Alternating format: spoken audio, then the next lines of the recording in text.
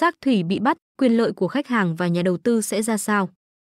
Trước thông tin ông Nguyễn Ngọc Thủy, Xác Thủy bị bắt, tập đoàn E Group cho biết sẽ luôn ưu tiên đảm bảo hoạt động ổn định tại các đơn vị thành viên.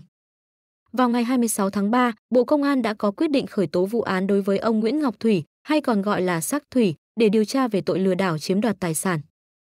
Ông Nguyễn Ngọc Thủy giữ chức Chủ tịch Hội đồng Quản trị kiêm Tổng Giám đốc đại diện pháp luật Công ty Cổ phần Đầu tư và Phân phối E-Game, Công ty Cổ phần Tập đoàn Giáo dục E-Group, đơn vị sở hữu Apex Leaders.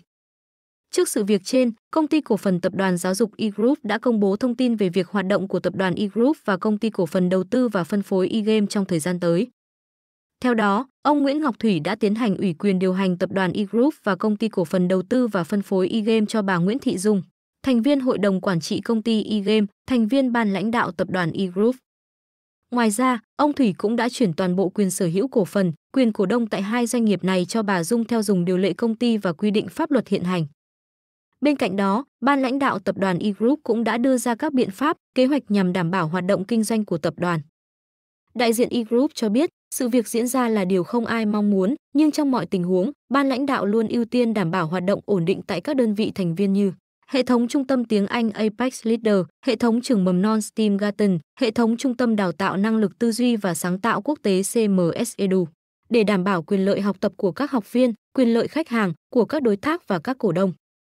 Được biết, Apex Leaders là chuỗi trung tâm Anh ngữ cho trẻ em, được cấp phép từ 2016. Trên trang web, chuỗi cho biết có 120 trung tâm trên cả nước với khoảng 120.000 học viên. Tuy nhiên, sau khi đại dịch COVID-19 diễn ra, đơn vị này liên tiếp đóng cửa trung tâm, bị giáo viên tố nợ lương và các phụ huynh yêu cầu hoàn trả học phí do trung tâm không thực hiện đúng cam kết. Đến thời điểm tháng 3 năm 2023, ông Nguyễn Ngọc Thủy đã tổ chức nhiều buổi làm việc với phụ huynh với mục đích xin lỗi, thông báo tái cấu trúc trung tâm và hoàn trả học phí. Nhưng đến nay, vụ việc vẫn chưa đi đến hồi kết. Theo thông tin từ Sở Giáo dục Đào tạo thành phố, Hồ Chí Minh, tính đến giữa tháng 3 năm 2024, Apex Leaders còn nợ các phụ huynh tại thành phố Hồ Chí Minh số tiền 93,8 tỷ đồng trên tổng số 108 tỷ đồng.